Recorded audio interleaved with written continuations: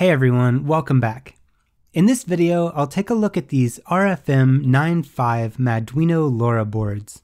These are development boards based around an Atmega 328, so you can program them using the Arduino IDE, and for the most part, any of your code and libraries should just work on them like any other Arduino compatible board. But they also have an integrated RFM95 LoRa transceiver and that means we'll be able to wirelessly send and receive data over some pretty impressive distances. You can also get these RFM95 LoRa chips as SPI breakout modules like this, or even as Arduino shields like this.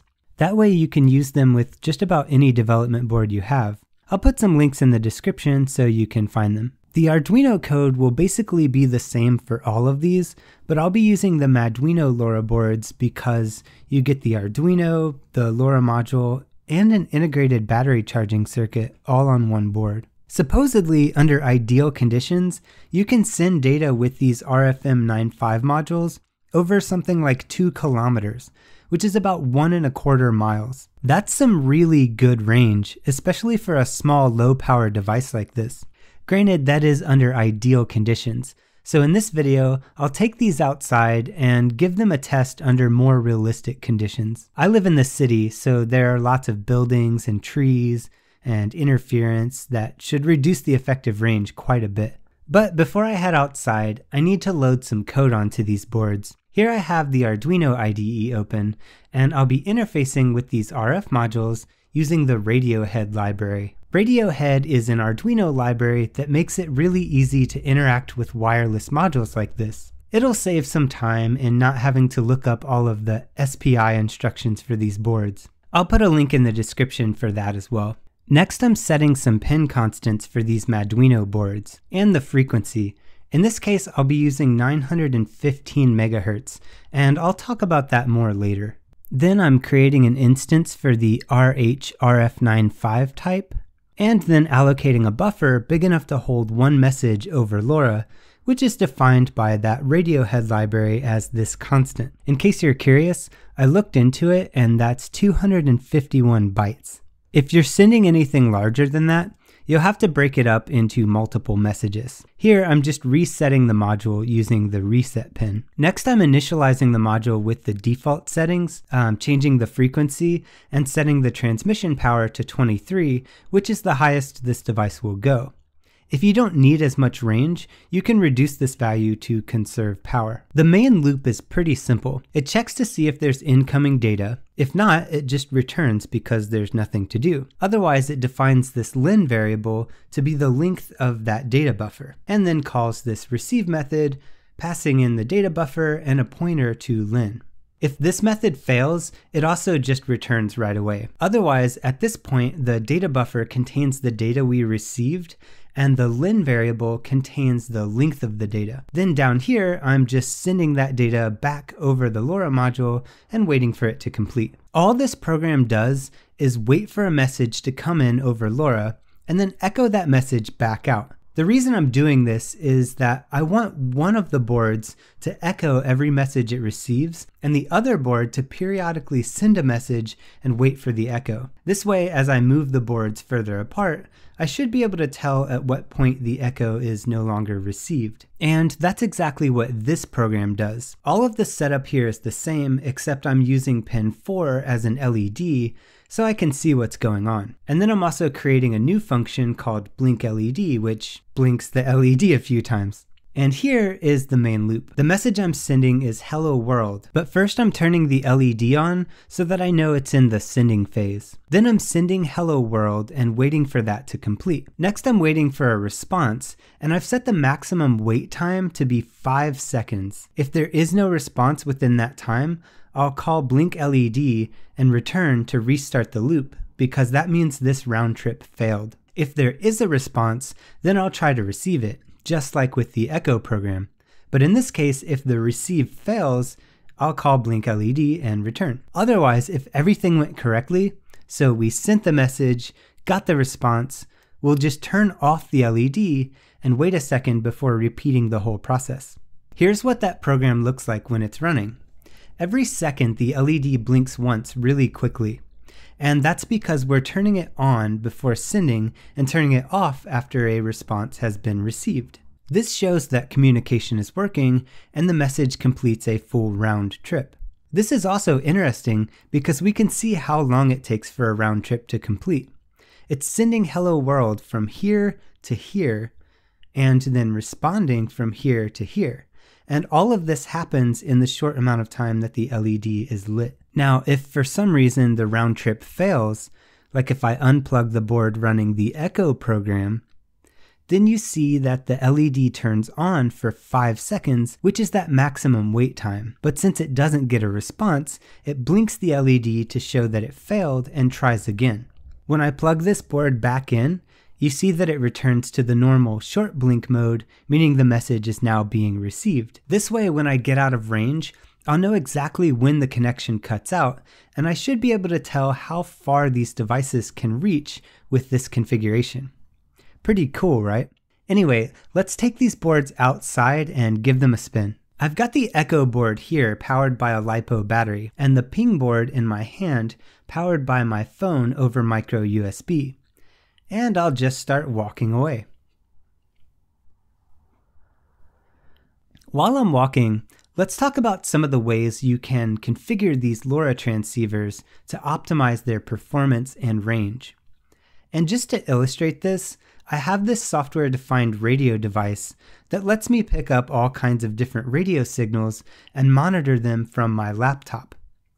This way, we can watch some of the transmissions in real time on a spectrogram to get an idea of what they look like in the actual radio spectrum. These devices are pretty cheap too, and they're really useful for testing and debugging wireless communication like this, so I definitely recommend picking one up. They're also just a lot of fun to play with too. The program I'm using to visualize this is called GQRX, which is open source and free and it works really well with USB software defined radio devices like these. Anyway, I've got it tuned to 915 megahertz, just like I've programmed my LoRa devices. And right now there's no transmissions going on. This is just the normal background noise for this frequency. So there's not really any powerful signals here, just the occasional random interference. But if I start transmitting from one of the Maduino devices, you can see these little blips appear consistently every second. Each one of those is the message Hello World being sent using the default configuration from the Radiohead library. It's the exact same setup being used in my walking test in the corner over there. And yes, I'm still walking. The transmissions happen pretty fast, less than a second for each one. That shouldn't be too surprising though, since it's sending such a short message. In fact, in the code being used for that walking test, every time you see the LED blink, it's doing two of these transmissions while the LED is lit. One from the ping board and one response from the echo board per round trip. Now, the default settings from the Radiohead library use a bandwidth of 125 kilohertz and a spreading factor of 7. If you check the specs for these modules, and I did, the allowable bandwidth range is from 7.8 kilohertz all the way up to 500 kilohertz. And the allowable spreading factor range is from 6 through 12. I won't go into the low level details about how LoRa works here, but you should just know that it's possible to increase the range and reliability by decreasing the bandwidth or by increasing the spreading factor. But that does come at the cost of transmission time, so each message will take longer to send. How much longer will it take? Well, let's decrease the bandwidth from the default 128 kHz down to a more modest 20.8 kHz. See how the transmission blip is a lot thicker now?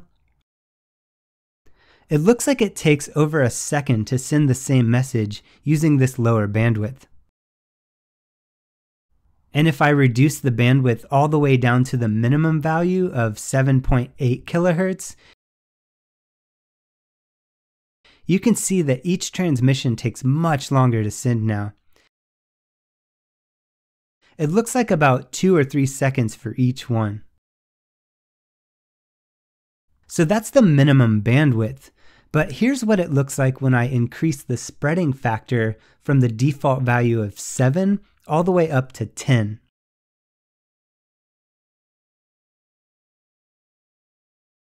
Now it takes several seconds just to send that little hello world message. And if I increase the spreading factor all the way up to the maximum value of 12, hello world takes about 20 seconds to send. If we were to do a ping plus an echo response like I'm doing in the walking test, and yes, I'm still walking, this configuration would take about 40 seconds to complete one round trip. So that's how long the LED would be lit from the time of sending a ping all the way until the echo is received, compared to the maybe less than a second flash that it currently is. This will scale relative to your message length too, so this could add some pretty considerable delays for larger messages than hello world. Something else to consider is that since the transmission time has increased, it also means that the power consumption has increased because the device spends more time transmitting, which is what takes up most of the power. But it's not all negative because it makes your transmissions more resilient to noise and helps to increase your overall range.